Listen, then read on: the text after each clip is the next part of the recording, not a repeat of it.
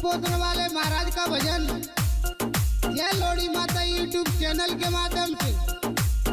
और recorded studio मामनपुर